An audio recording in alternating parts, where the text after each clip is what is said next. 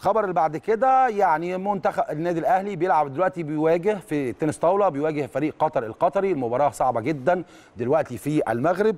فريقنا اللي قدر يوصل للمباراة النهائية عن طريق البحرين البحريني 3 2 آه كان ماتش صعب جدا جدا جدا. البطولة بتقام في مدينة أغادير. لكن دلوقتي حالا زي وإحنا بنتكلم معاكم بنقابل قطر القطري. المباراة صعبة لأن منت- فريق قطر معاه لعيب من آه مصنفين عالميا وهو الثامن عالميا. والمباراة ماشية في اتجاه يعني نتمنى بإذن الله إن شاء الله يا رب يا رب نتمنى التوفيق لفريق النادي الأهلي في آخر شوطين أو آخر ثلاث ماتشات.